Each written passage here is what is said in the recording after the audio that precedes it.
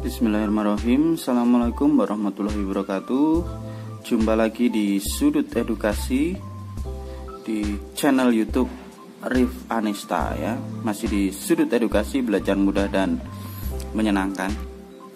Kali ini kita akan melanjutkan pembahasan dari buku SPS Matematika untuk SD kelas 5 Di mana hari ini akan kita bahas latihan ulangan bab 5 paket 1 Untuk latihan ulangan bab 5 ini mengenai pengetahuan, menjelaskan dan menyajikan data dalam bentuk daftar, tabel, dan diagram.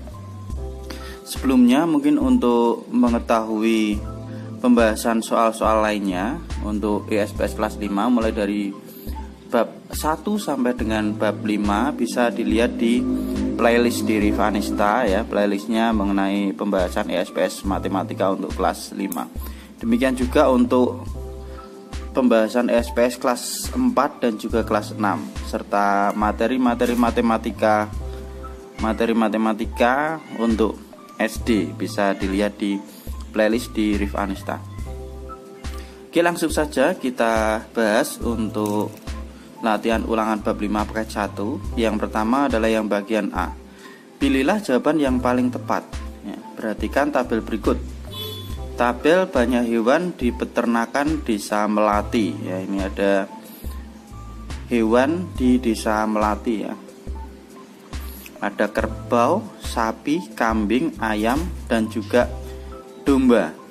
Di mana untuk kerbau jumlahnya ada 60 sapi ada 30 kambing ada 120 ayam ada 112 dan domba ada 70 ditanyakan jenis hewan terbanyak pada tabel di atas adalah kita lihat yang paling banyak jumlahnya. Berarti angkanya yang paling besar adalah 120 ya. Jadi hewan terbanyak adalah kambing. Ya, maka jawaban untuk nomor satu adalah yang D ya ini kambing.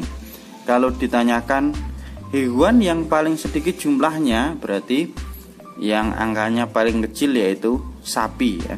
Demikian juga misalnya kalau ditanyakan ada berapa jumlah kerbau di peternakan di Melati maka kita lihat kerbaunya ada 60 lah itu merupakan salah satu bagaimana cara mem membaca tabel. Nomor 2 perhatikan tabel berat badan beberapa siswa berikut nah, ini berat badan beberapa siswa. Yang beratnya 33 ada dua siswa 34 ada 5 siswa 35 ada 4 siswa 36 ada 6 siswa 37 ada 2 siswa dan 38 ada satu siswa. Yang ditanyakan banyak siswa yang berat badannya kurang dari 35 kg kurang dari 35 kg berarti 35 tidak ikut ya. Karena kurang dari 35 berarti berat badannya yang 34 dan 33 kita lihat yang 34 ada 5 siswa kemudian yang 33 ada 2 siswa. Maka kita tambahkan 5 tambah 2 berarti hasilnya adalah 7 maka berat badan yang kurang dari 35 kg adalah 7 orang atau ada 7 siswa ya. Jawabannya yang C untuk nomor 2. Kita lanjutkan ke soal nomor 3. Perhatikan diagram gambar berikut. Ya, ini adalah diagram gambar atau piktogram. Untuk cara membuat diagram gambar juga bisa dilihat ya di pembahasan soal sebelumnya ya, khususnya di latihan 3 ya, eh, latihan 2, maaf ya. Oke. Data penjualan buku di perpustakaan selama 4 bulan. Gimana? Ini bulan Juli banyak buku yang terjual ada 1 2 3 4. Ada 4 tapi di sini kita lihat keterangannya. Satu tumpukan itu mewakili 20 buku ya. Maka di bulan Juli yang terjual adalah 4 kali 20 buku berarti 80 buku ya ini di bulan Juli ada 80 buku Kemudian di bulan Agustus 1, 2, 3 3 kali 20 berarti 60 buku. Jadi di bulan Agustus ini ada 60 buku. Bulan di bulan September, bulan September ada satu tumpukan berarti satu kali 20 20 buku. Kemudian di bulan Oktober ada dua tumpukan berarti dua kali 20 berarti 40 buku ya. Jadi ini adalah 80, ini 60, 20 dan ini 40 buku di bulan Oktober. Pertanyaannya, penjualan buku pada bulan Juli adalah nah penjualan buku pada bulan Juli berarti kita lihat bulan Juli tadi ya.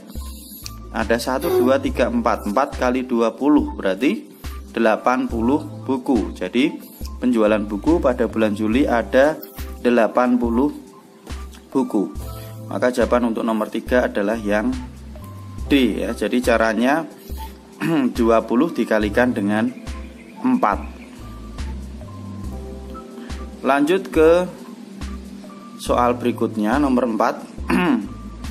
Perhatikan diagram batang jenis pekerjaan orang tua siswa kelas 5 berikut untuk menjawab soal nomor 4 dan nomor 5. Jadi ini diagram batang untuk menjawab soal nomor 4 dan nomor 5 ya. Oke.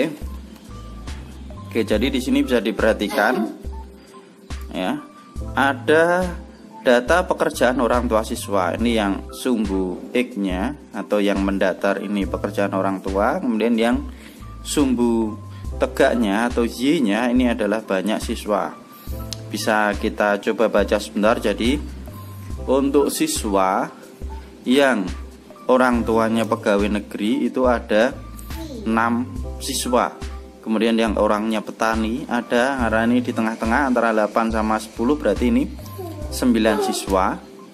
Kemudian yang pedagang ada 10 siswa sedangkan yang pegawai swasta ada 9 siswa ya. Pertanyaan untuk nomor 4 pekerjaan paling banyak yang dilakukan oleh orang tua siswa kelas 5 adalah sebagai nah kita lihat yang paling tinggi berarti diagram batangnya. Ya ini. Yang paling tinggi ada 10 sebagai pedagang. Maka paling banyak yang dilakukan oleh orang tua siswa kelas 5 adalah sebagai pedagang. Coba kita lihat di pilihan gandanya. Ya, berarti sebagai pedagang ya, jawabannya yang B. Ya, kita lanjut ke soal nomor 5. Selisih banyak siswa yang orang tuanya bekerja sebagai pegawai negeri dan pegawai swasta adalah cari selisih yang sebagai pegawai negeri dan sebagai pegawai swasta. Oke, kita lihat lagi di diagram batangnya selisihnya antara pegawai negeri dan pegawai swasta ya. Kita lihat di sini pegawai negerinya ada 6, kemudian pegawai swastanya ada 9. Maka selisihnya 9 dikurangi 6 hasilnya adalah 3 ya. Jadi ini yang pegawai swasta ada 9 siswa kemudian yang pegawai negeri ada 6 siswa ya. Jadi 9 dikurangi 6 hasilnya adalah 3 maka kita lihat di sini selisih banyak siswa yang orang tuanya bekerja sebagai pegawai negeri dan pegawai swasta adalah 3 orang. Lanjut ke soal nomor 6 Perhatikan tabel nilai ulangan matematika siswa kelas 5 berikut. Jadi ini ada tabel ya nilai ulangan matematika siswa kelas 5 yang nilainya 6 ada 6 siswa 7 ada 10 siswa 8 ada 10 siswa 9 ada 8 siswa dan yang nilainya 10 ada 6 siswa. Diagram batang yang sesuai dengan data pada tabel di atas adalah nah ini diminta untuk membentuk diagram batang ya. Kita lihat aduh ada kucing di bawah ini ya ya, kita lihat. Hmm. ya ini jadi kita lihat yang berarti diagram batangnya antara banyak siswa dengan nilai ya. Yang nilainya 6 ada 6 siswa. Kita lihat. Yang A salah ya. Yang nilainya 6 ini ada 8 siswa. Kita lihat. Yang B yang nilainya 6 ada 6 siswa. Betul. Kemudian yang nilainya 7 ada 10 siswa Nah ini salah. Harusnya yang 7 ada 10 ini cuma 8 Kita lihat yang C. Yang C ini 6 6 siswa. Kemudian yang 7 ada 10 siswa ya betul. Kemudian yang nilainya 8 ada 10 siswa ya betul. Kemudian yang 9 ada 8 siswa ya. Kemudian yang 10 ada 6 siswa ya ini. Betul ya antara nilai ulangan sama banyak siswa. Ini jawabannya yang C. Coba kita lihat yang D. Yang nilainya 6 ada 6 siswa betul. Kemudian yang 7 ada 10 siswa. Yang 8 adalah yang 8 ini yang salah. 8 harusnya ada 10 siswa ya sampai sini ya. Maka jawaban yang paling tepat untuk diagram batang nilai ulangan siswa kelas 5 adalah yang C. Jadi jawaban untuk nomor 6 adalah yang C ya Oke lanjut ke soal nomor 7 perhatikan diagram berikut untuk menjawab soal nomor 7 dan 8 ini adalah diagram garis ya. Ini data ekspor jagung di Samakmur ya, dari tahun 2012 sampai dengan 2016 dengan ekspornya ini satuannya ton jadi sebelumnya 10 ton 20 ton sampai 60 ton nah pertanyaannya untuk yang nomor 7 selisih ekspor terbesar dan terkecil adalah nah ekspor terbesar berarti yang paling banyak. Ekspor terbesarnya nih berarti pada tahun 2015 itu ada 50 ton ya berarti 50 kemudian ekspor paling kecil itu di tahun 2013 ada 10 ya maka 50 dikurangi dengan 10 ya. 50 ton dikurangi 10 ton karena ekspor terbesar dan terkecil. 50 dikurangi 10 hasilnya adalah 40 ya. 40 ton. Maka jawaban untuk nomor 7 adalah yang C. 40 ton. Jadi 50 ton dikurangi 10 ton. Hasilnya adalah 40 ton. Lanjut untuk nomor 8 Jumlah ekspor jagung desa makmur selama 5 tahun. 5 tahun berarti dari tahun 2012 ini. Ya 1, 2, 3, 4, 5 Berarti kita jumlahkan semua ya.